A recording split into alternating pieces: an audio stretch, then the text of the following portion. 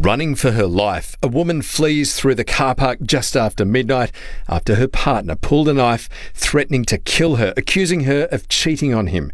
He drives out of the car park, and for a brief moment, she suspects this crazed argument might be over. Then, the SUV mounts the footpath and rockets towards her across the car park, stopping only after smashing two bollards. Behind the wheel, 28 year old Abbas Al Kafaji.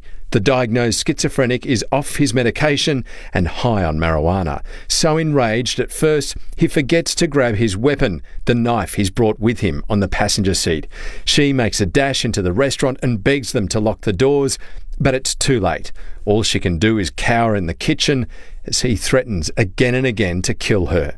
McDonald's staff bolt from the area. She takes hold of whatever she can find a single broomstick, her only physical defence, as she tries to talk her partner down. That's the knife in his right hand as he closes in. As Al Kafaji threatened to kill her, she said, This is all in your head. You're going to hurt me. Please stop. She believed he was going to stab her, but then the unexpected. Suddenly, something changes, and Al Kafaji backs away and walks out, leaving his car behind at first. He then returns and drives off, again over the footpath.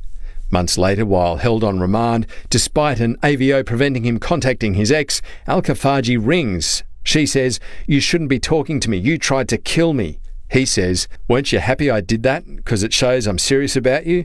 Al Kafaji has pleaded guilty to a string of offences. The most serious carries a maximum of 12 years jail. He will be sentenced in May. Evan Batten, 7 News.